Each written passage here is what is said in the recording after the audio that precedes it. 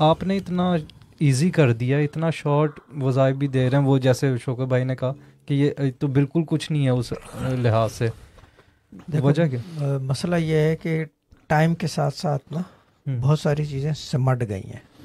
Everything is condense down दूरियाँ करीब में बदल गई हैं। हम्म। पूरी दुनिया अभी यहाँ से सिस्टर ज़ायरा को मिला दें सिस्टर ज़ायरा जो है इंडिया मिला दें इंडिया से जो है वो पाकिस्तान मिला दें पाकिस्तान से वो जन्नत को मिला दें यानी कि any one can do any thing conference call है यार कॉन्फ्रेंस कॉल है। छोटा छोटा है छोटा है। हर हम्म। चीज़ छोटी सिमटती चली गई है। हम्म।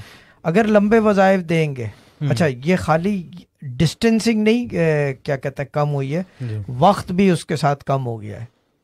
वक्त कम हो गया। अब जब अगर शौकत भाई को देखेंगे माशाल्लाह आप पाकिस्तान से हैं यानी कि जम्मू एंड कश्मीर से ना। हम्म। ठीक है ना? पुराने लोग देख लें उनके पास टाइम ही टाइम होता था। हम्म। अब टाइम ही टाइम अब टाइम ही नहीं है जबकि दुनिया से बढ़ गई है टाइम होना चाहिए टाइम भी कम हो गया है।